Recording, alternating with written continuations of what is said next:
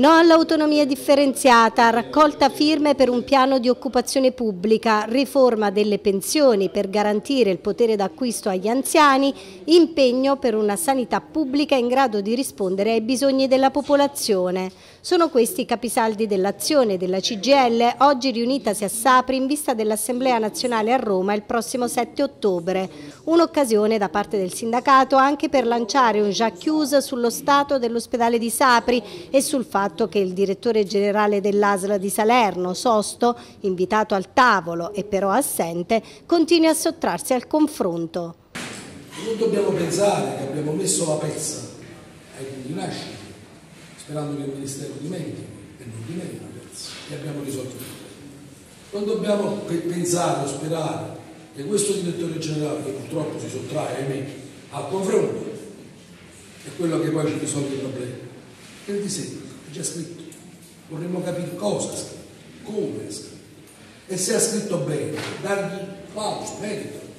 E se c'è da correggere qualcosa, correggere qualcosa, ma farlo insieme a chi ha le competenze e le capacità. Non viva Dio, inguattando le carte e nessuno ha visto niente. Diversi gli spunti emersi nel corso della giornata. Ad intervenire, moderati dal responsabile della Camera del Lavoro di Sapri, Mimmo Vrenna, il segretario della CGL Salerno, Antonia Padula, quello dello SPI CGL di Salerno, Arturo Sessa, il segretario regionale, Franco Tavella, il rappresentante di zona dello SPI CGL, Gerardo Triani, che ha lanciato l'allarme sulle difficoltà degli anziani oggi, e il direttore sanitario dell'ospedale di Sapri, Claudio Mondelli, che ha rassicurato sul lavoro svolto per recuperare le criticità esistenti nel presidio sanitario. A prendere la parola anche il presidente del comitato di lotta per l'ospedale, Luciano De Geronimo, che ha chiesto maggiore attenzione ai vertici sanitari e regionali. È possibile mai, ha detto, che abbiamo dovuto fare otto manifestazioni per il punto nascita prima che chi di dovere prendesse posizione? La CGL ha mostrato attenzione verso le problematiche sapresi, visto che già ad agosto era stata in massa su questo territorio. A chiudere i lavori, infine, il segretario nazionale dello SPI Claudia Carlino. Le persone cominciano a soffrire, cominciano a sentirsi sole.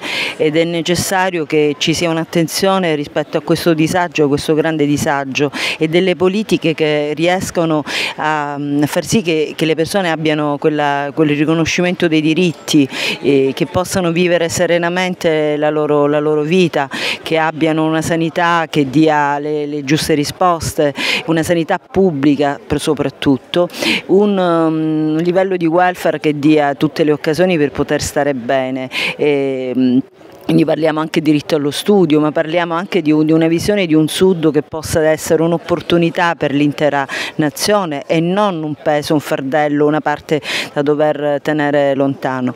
E abbiamo bisogno appunto di politiche, di politiche che invertono questa tendenza e che abbiano grande attenzione per le persone più fragili, le persone più isolate, per le persone che vivono nelle periferie, per le persone che, che vengono spesso dimenticate. E, per questo noi chiediamo insomma, che ci siano il riconoscimento, un'applicazione di quella Costituzione che facendo delle proposte anche chiare rispetto a quello che già in quella Costituzione viene detto, il rispetto per la persona, il rispetto per la salute pubblica. E, l'uguaglianza, la giusta opportunità per tutti, ma soprattutto chiediamo anche che ci sia, eh, un'attenzione e che ci sia la possibilità di avere i soldi, di prendere i soldi dove i soldi ci sono, per invertire, per, per dare opportunità a chi non ha soldi, chi sta soffrendo, pensiamo alla condizione per esempio degli anziani